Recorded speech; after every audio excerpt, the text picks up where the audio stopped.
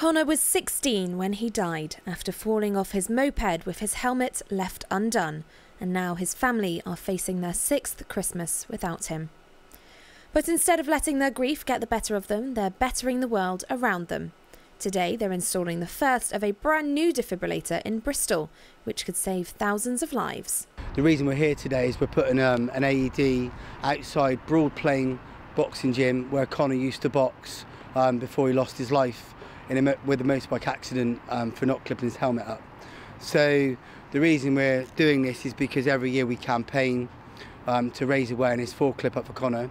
Um, and this year we decided to do something different. Um, generally, years gone by, we've given money to charities like Children's Trust, Headway, and Break.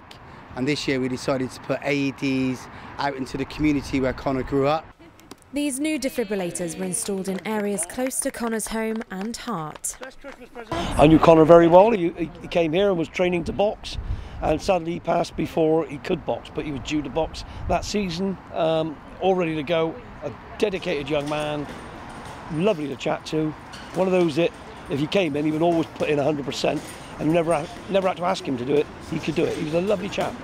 The family have set their minds to ensuring they save as many young lives as they can, and this is their latest triumph. We're just trying to make his memory live on and make sure that no one goes through the pain that we as a family did and still do and live with on a daily basis. We just want to make sure we can try and avoid that for any other family, mum, dad, sister, brother, etc. This new defibrillator continues to pump the heart while monitoring it, whereas older models have to be removed, leaving the person in trouble with a chance of their heart stopping again.